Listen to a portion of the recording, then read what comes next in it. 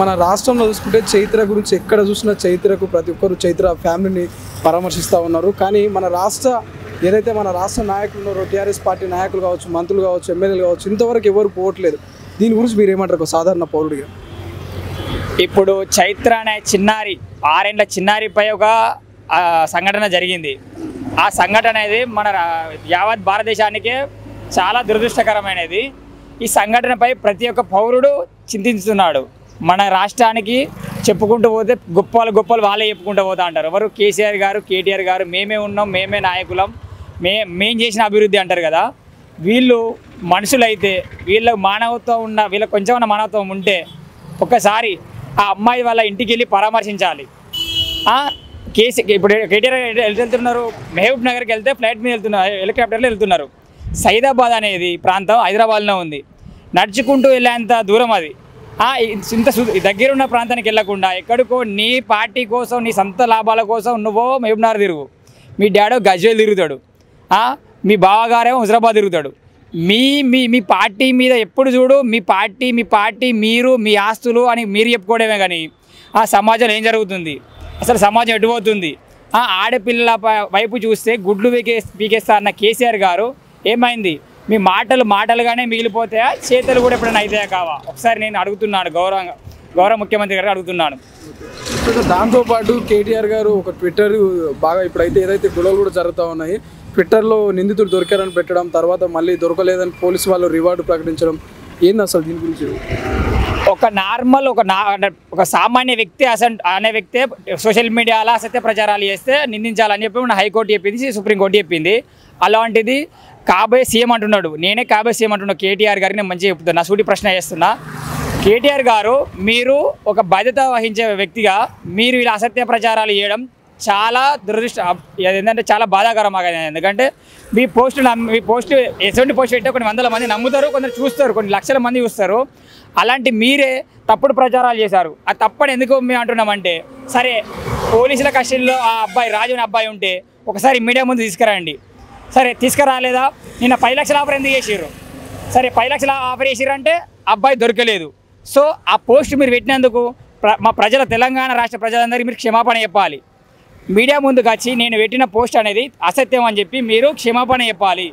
క్షమాపణ చెప్పి within two three డేస్లో అతన్ని దొరకబట్టి అబ్బాయిని ఒక స్టాచ్యూ నడి రోడ్డు మీద ఉరిదీస్తారా లేకపోతే ఎన్కౌంటర్ చేస్తారా ఆ ఉరిది అండి ఏదైనా పది పది మంది ప్రజల మధ్యలోనే ఇటువంటి శిక్షలు వేస్తేనే ఇంకోసారి అటువంటి సంఘటనలు జరగవు. మీరేదో సాటు చేయడం అనే అవసరం లేదు.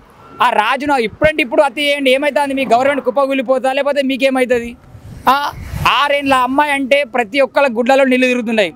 ఒక్కసారి ఏంది మీరు ప్రగతి భవన్లో మీ డాడీ వండుకున్నాడు కాదు లేకపోతే నువ్వు ఎక్కడ ఫామ్ హౌస్లో అనుకున్నాడు కాదు? కేటీఆర్ కేసీఆర్ హరీష్ రావు మీకు హుజరాబాద్ ఎన్నికల ఉన్నంత చిత్త- చిత్తశుద్ధి మరి అమ్మాయి ఫ్యామిలీ పైన ఎందుకు లేదు?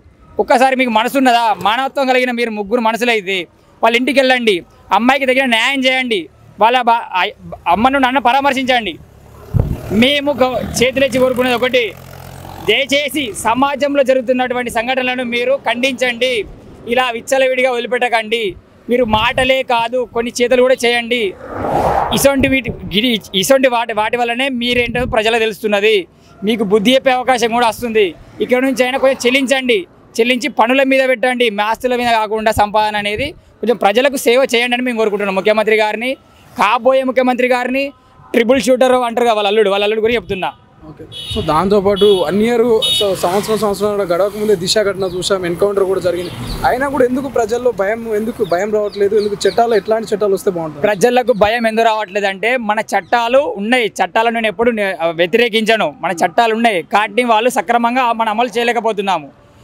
ఏ ఏ ఏ పనినైనా నాలుగు గోడల మధ్యలో వేస్తే ఎవరికి తెలియదు. ఇలాంటి వాళ్ళను ఇలాంటి ఆ రాక్షసులను ఆ రాజు లాంటి రాక్షసులను దుర్మార్గులను ప్రజల మధ్యలో కాల్చి చంపడమా ప్రజల మధ్యలో ఉరి తీయడం అనేది జరిగిందనుకో చూసే వాళ్ళకు కూడా భయం జరుగుతుంది. అరే ఇలాంటి సంఘటనలు చేస్తే ఇంత పెద్ద శిక్షణ అని భయం జరుగుతుంది. అది కూడా విత్ ఇన్ ట్వంటీ ఫోర్ అవర్స్లో చేయాలి. అతను ఎక్కడ ఉంటాడు? అండర్ గ్రౌండ్లో ఉన్నాడా? అంతరిక్షం వేయండా మన తెలంగాణ పోలీసులు ఏం చేస్తున్నారు? ఇంత టెక్నాలజీ పెరిగింది ఇంత అప్డేటెడ్ ఉన్నాం మనం. ఈ- ఈ టెక్నాలజీ రంగంలో అబ్బాయి ఎందుకు దొరకట్లేదు వీళ్ళకు? వీళ్ళు సీరియస్గా యాక్షన్ తీసుకొని దొరకబడదాం అనే భావన వీళ్ళలో ఉన్నదనుకో విత్ ఇన్ ట్వంటీ ఫోర్ అవర్స్లో దొరకబట్టాలి. దొరకబట్టి మీడియము తీసుకొచ్చి లైవ్లో కాల్చి చంపాలి. అసలు నా దొంగ నా కొడుకులను లైవ్లో కాల్చి చంపడమా లేదా లైవ్లో విరుదీయడమా లేకపోతే ఇలాంటి దుర్మార్గపు చర్యలు మళ్ళీ మనం చూడవలసి వస్తుంది. కావు కావున కేసీఆర్ గారికి కేటీఆర్ గారికి చెప్తున్నాను. దయచేసి ఆడపిల్లలపై ఇలాంటి సంఘటనలు రాబోయే రోజుల్లో జరగకూడదంటే మీరు కఠిన చర్యలు. ఎందుకంటే చరిత్రలో నిలిచిపోయే విధంగా వాళ్ళపై కఠిన చర్యలు తీసుకోవాలని మేము విన్నపించుకుంటున్నాం మా హుజరాబాద్ ప్రజల పక్షాన.